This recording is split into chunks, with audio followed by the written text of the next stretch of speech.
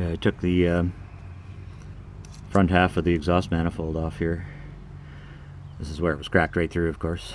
I'm having troubles getting to the back bolt there because of the steering column or the steering linkage. But I will be able to get back there even if I have to disconnect the steering linkage. These bolts came out quite easily. I was prepared for it to be a terrible pain. Uh, I soaked them with penetrant and uh, left it overnight. And uh, they came out quite easy. Um, the last major exhaust manifold extraction I had to do on the Dodge truck took uh, way too long, partly because uh, twisted the head right off the bolt and uh, they were all rusted right in. You know, what happens is the bolts rust to the manifold, which rust to the engine block, all being iron in this case. And uh, over time they fuse together in such a way that they might as well be one piece of metal.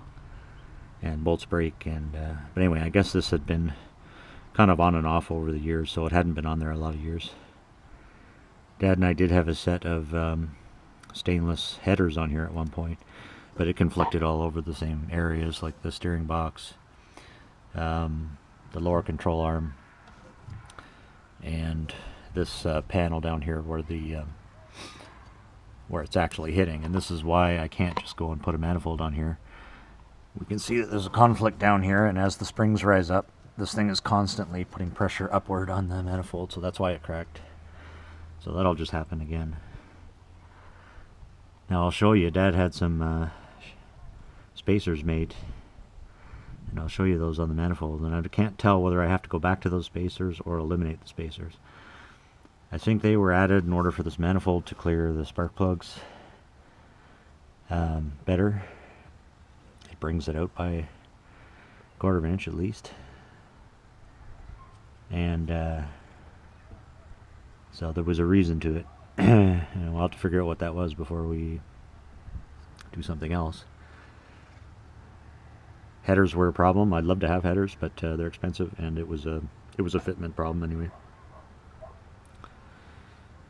So let's go have a look at the uh, manifold. All right, here's the uh, you know it's just a standard Chevy cast iron, and here's the uh, spacers I told you about. Dad had these made up. These are water cut. And I think that was about as thick as they could cut in water. Pretty sexy. I do like, uh, one thing I kind of admire about the Chevy design of these is that you can just drop the gaskets right in there. You know, with the bolts in, you really just have to back it off enough to get those gaskets down in there.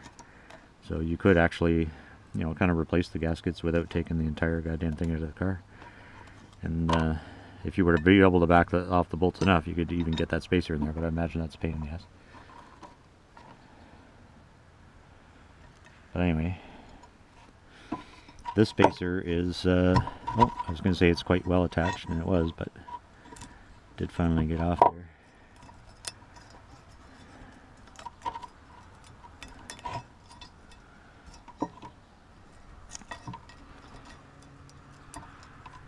I'm not reusing these. Obviously, they're completely fucked. I will hang on to these because I might need them.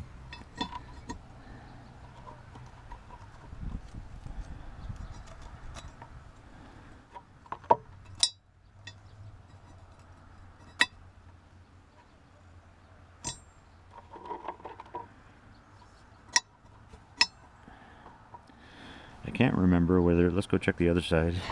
I don't remember if those uh, offsetters, spacers are on the uh, passenger side or not.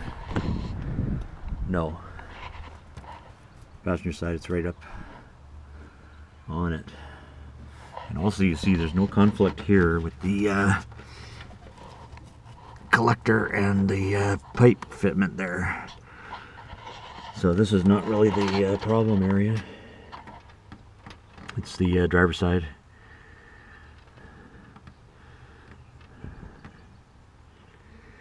So I don't know, depending on what I do, if I get some old school of these manifolds, I might just leave this side alone. Although, you know what I do recall, I see a whole bunch of gunk, like uh, gasket goo crammed in there. I do recall this had a different leak issue and that we couldn't get this back cylinder was always kind of blowing out there. Yeah, they got some, so that's maybe that's not good either. You see an attempt at a repair there from a long time ago. So that's not going to cut it either.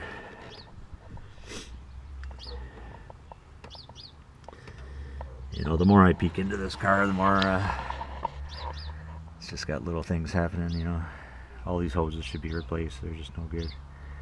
Fuel line, fuel pump. So there's lots going on. Anyway, that's it for now. Talk soon.